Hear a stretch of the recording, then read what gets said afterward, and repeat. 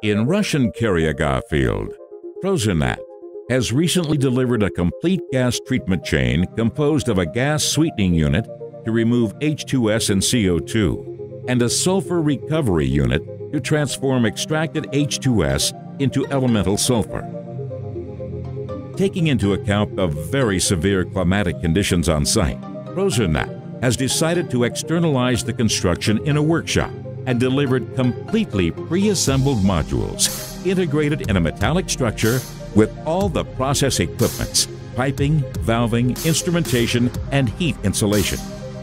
The modular design was developed to allow a complete transportation of the unit by train in Russia. Once construction is achieved, each unit is thus separated into several skids the size of a wagon, and interconnections between each skid is stored into containers.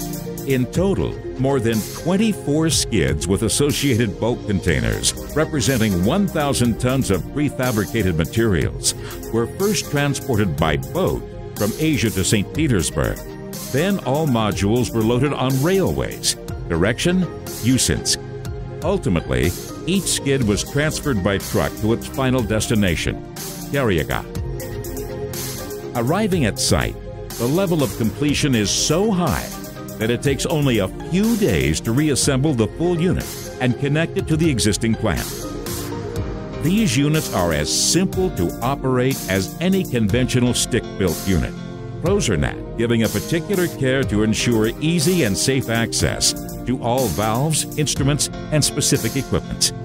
For more than 35 years, Prosernat has successfully delivered more than 400 similar units for a very extensive range of processes every time providing tailor made solutions adapted to any transportation or site specification. Prosernat, we process your energy.